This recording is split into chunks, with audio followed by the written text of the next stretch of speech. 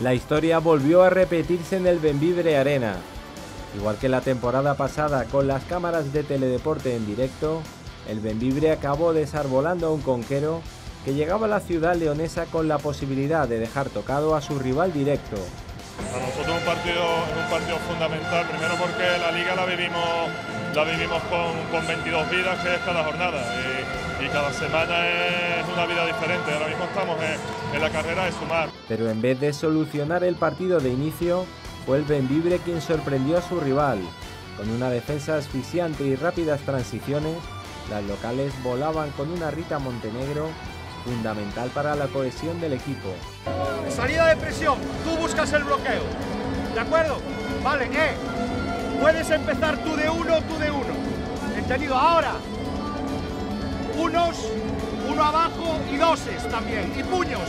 No hay tres, no hay camiseta, no hay cabeza.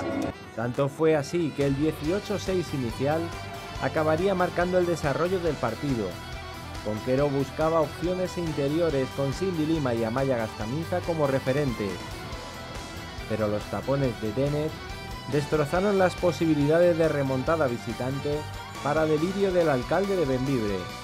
Ha habido una renovación importante del equipo y se ha hecho un equipo muy compensado y yo creo que con este equipo, y aquí lo podemos ver la primera parte tan estupenda que hemos hecho, este año vamos a estar seguro en la mitad de la tabla y no luchando por el descenso como en temporadas anteriores. Tras el paso por vestuario se repitió la historia del primer cuarto.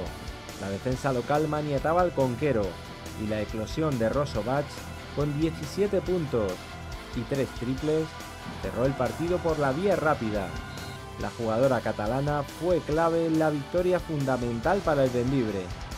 Lo importante es ganar, después del año pasado para nosotros es muy importante ganar y en casa sé que estoy contenta. Sí que me da mucha confianza, soy feliz jugando y para mí es lo más importante. Sé que te digo un partido más y seguir trabajando.